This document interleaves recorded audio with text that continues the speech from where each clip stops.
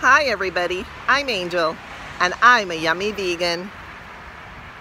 And I wanted to come back on today and talk about an expression that I've heard twice in the last few days that's really made a big impression on me. And that expression is to not just be a brick in the wall or to not just be another brick in the wall.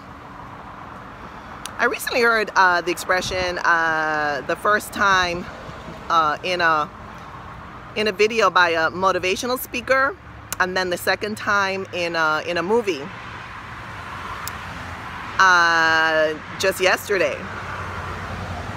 And it really hit me because it hit me kind of like a ton of bricks to be honest with you that first of all I would hear the same expression twice in a few days and secondly, it hit me hard because I felt like I must have been living under a rock because I hadn't heard that expression before, or maybe I've heard it and just didn't remember, I'm not sure.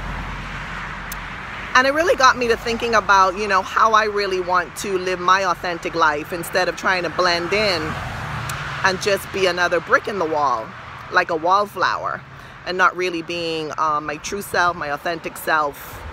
And so I've really been pondering that expression and that concept quite a lot in the last few days. And kind of making uh, you know different decisions based on that beautiful concept of not just being another brick in the wall.